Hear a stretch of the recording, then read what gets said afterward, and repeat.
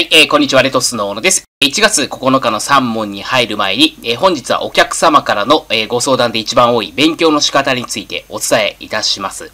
勉強の仕方については、えー、別途動画、え、用意させていただきましたので、この動画の下の概要欄、もしくは、え、右上ですね、え、こちらのお知らせボタンの方から、え、ご確認いただけます。また動画の最後に、え、勉強の仕方の動画のリンクについてもお知らせいたしますので、そちらからもご確認いただけます。では、問1です。賃借人 A は賃貸人 B に対する建物の賃料の支払いが不能になった場合、A は B に対する敷金返還請求権を自動債権として、弁済期が到来した賃料債務と対等額で相殺することができる。丸か×かという問題です。考えたい方は動画を一旦ストップしていただいて、この動画の下の概要欄から問題文ご確認ください。で、え答えは、え賃借人 A は、敷金返還請求権を自動債権として、相殺することはできませんので、誤りですね。この敷金返還請求権っていうのは、賃借物を明け渡した後に発生する権利なんですね。そのため、明け渡しがされていない以上、敷金返還請求権を持って、総裁を主張することはできません。よって誤りだということですね。え、つなげて覚えることで、試験であれどっちだっけ？と迷わなくなります。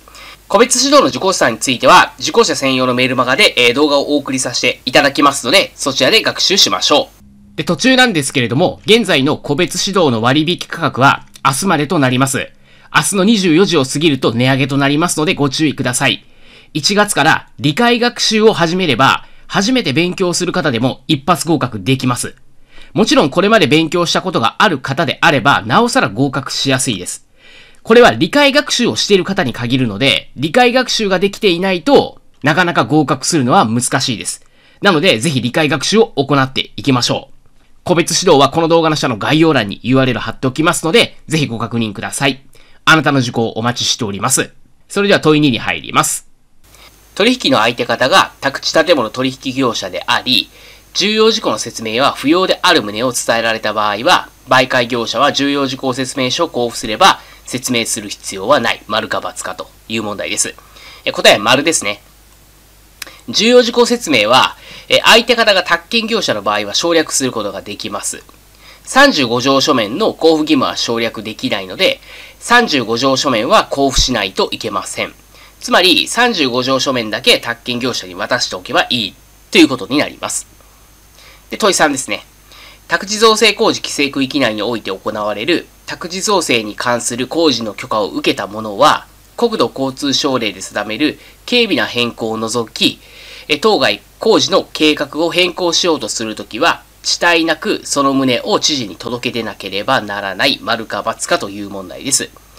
で、答えはこれ誤りですね。